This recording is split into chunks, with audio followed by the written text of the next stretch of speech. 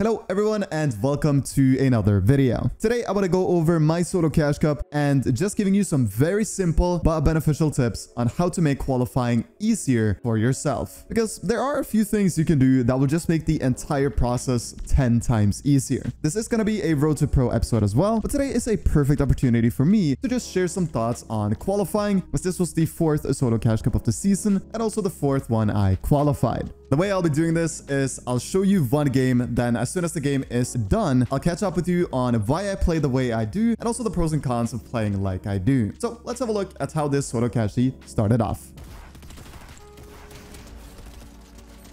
Okay, kill them both. Yeah, the victory car. Solo cashes are were the best things to watch back in the day. I can't lie. Oh, not really. It's annoying me. There's some free money thing going around, and it's CPU cooler problem. It actually does. yeah. And I swear it was overheating. Like I swear, half the time I play the game, like I'll go on my temps and it's like, oh, it's not overheating, but it smells like it's on fire. Like I can literally smell it, and I'll touch my case. It's, yeah, boiling. Give me a second, I'm in that game.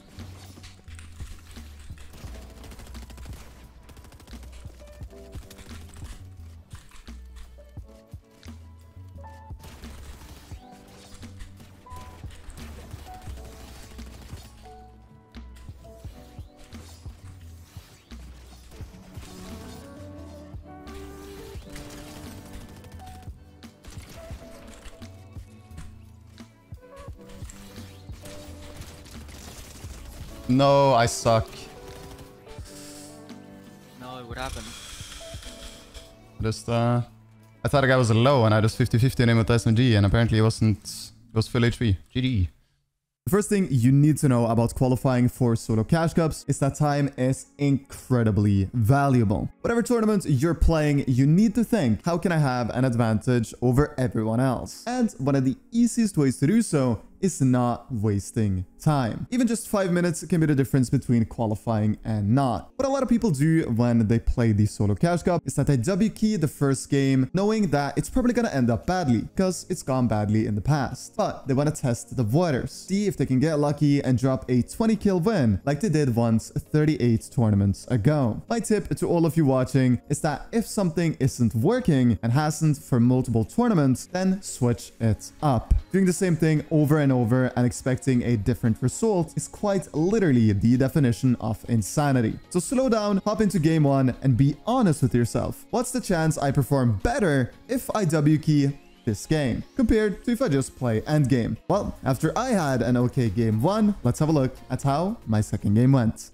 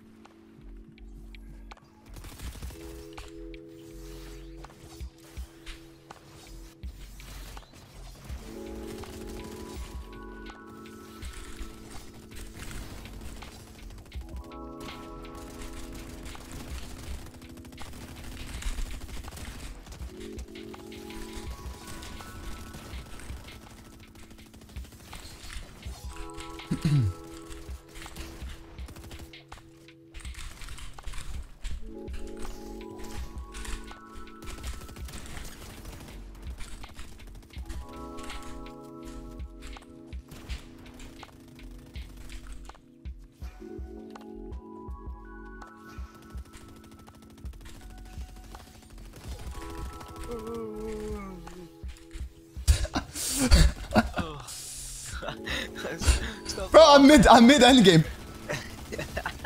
What the f- You got this. Thank you. Hype up. I just kill a guy. Like and subscribe. The goat. I just took 10 million storm ticks because of that cringe. nice. And I also lost my splashes somehow. Yeah, they're just 10 and a half million miles in storm.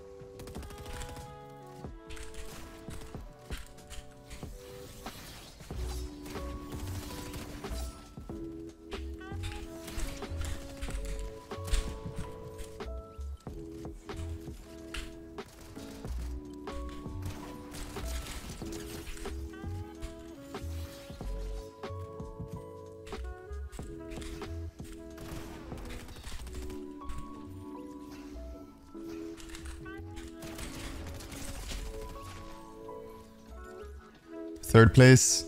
I've never played that much like a flopper, but I didn't have any heals, so we'll take it. We'll take it.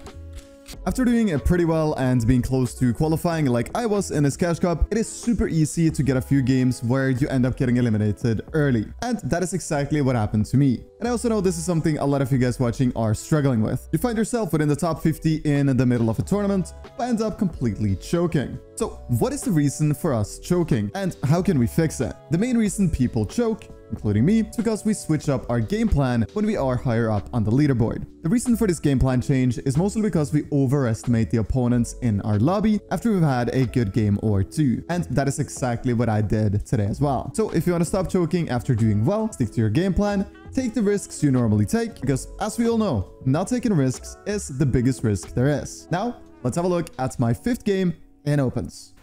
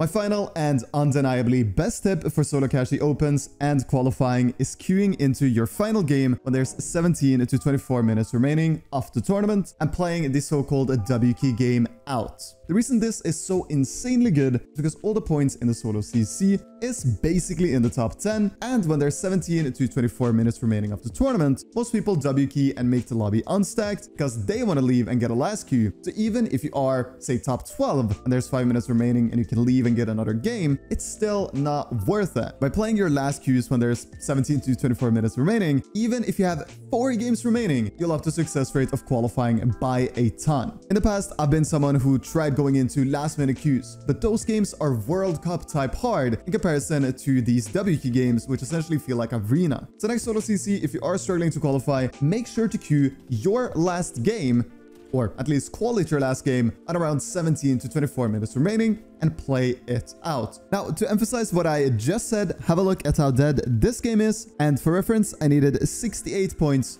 to qualify. Bro, why can I not build?